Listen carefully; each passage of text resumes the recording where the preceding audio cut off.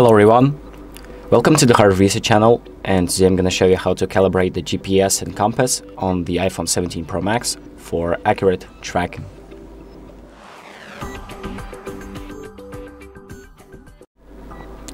So the first thing that we're going to do is open up the settings, then we're going to scroll down to the privacy and security option, step on that, then we're going to select location services select the compass and uh, enable while using the app and precise location. So enable both of these options.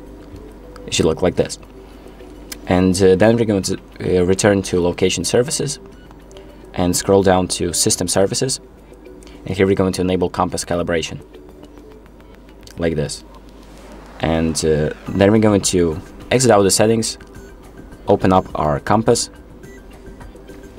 and check if everything works correctly.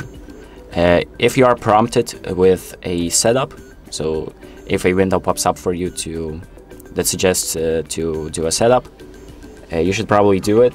Uh, it's going to ask you to move your phone to calibrate it, and you'll get uh, a lot more accurate tracking. But if it didn't pop up, that means that everything works works correctly, and you're pretty much done. So that's it. Uh, thank you for watching. I hope this video helps you and make sure to like and subscribe.